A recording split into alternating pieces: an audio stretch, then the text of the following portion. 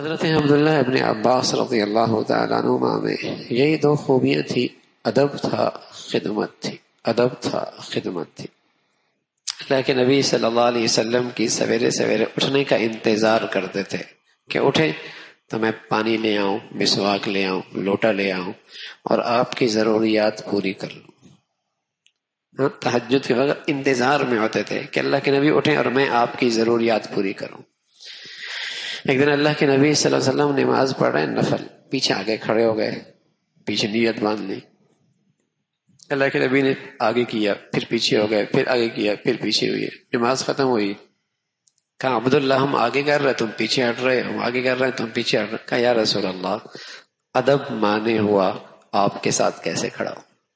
अदब माने हुआ आपके साथ कैसे खड़ा हो? तो खिदमत में आगे हुआ करते थे। सबसे पहले खिदमत का सामान लेके पेश करते थे एक दिन अल्लाह के नबी सल्लल्लाहु अलैहि वसल्लम ने फरमाया अब्दुल्ला हम तुम्हारे लिए कोई दुआ करना करना चाहते हैं। बताओ क्या दुआ करें?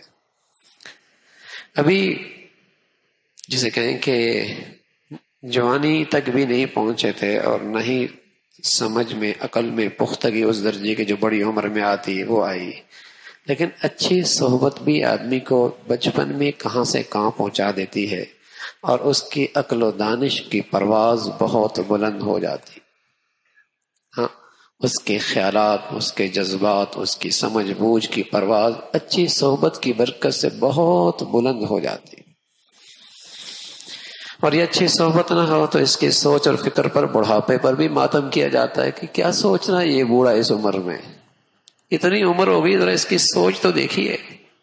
और अच्छी सोबत मिल जाए तो मैं अर्ज़ कर रहा हूँ कि बचपन भी समझ बूझ की परवाज बहुत बुलंद हो जाती है।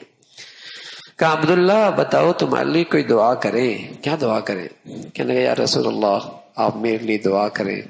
अल्लाह मुझे कुरान का इल्म नसीब फरमा दे। कोई ऐसी मुबारक घड़ी थी, अल्लाह के नबी ने हाथ उठा दिए, बात बन गई।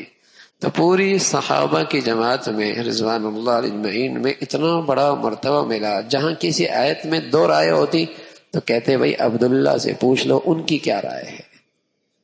वो इस आयत का मजमून, मफहूम क्या बयान करते हैं? हम्म? खिदमत, अदब खिदमत, अदब। बेअदब आदमी का कुछ नहीं मिलता।